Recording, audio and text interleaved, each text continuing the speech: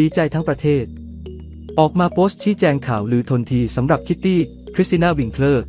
ภรรยาของพระเอกชื่อดังเอส กันตพงษ์บำรุงรัก ที่วูบหมดสติกลางงานอีเวนต์เมื่อวันที่ 9 พฤษภาคม และยังคงนอนรักษาตัวอยู่ในโรงพยาบาล แต่ทว่ามีข่าวลือแพร่ออกไปว่าเอส ออกจากโรงพยาบาลแล้วทำให้ทางด้านภรรยาได้ออกมาโต้และยืนยันความจริงว่าสามียังคงนอนรักษาตัวอยู่ที่โรงพยาบาลเช่นเดิม และหากมีอะไรเปลี่ยนแปลงจะแจ้งให้ทราบ I have heard that there are many rumors that my husband is already released from the hospital. We would really appreciate if there are no rumors like this spread as we already try to play as much as possible to the public. My husband is still in hospital being treated.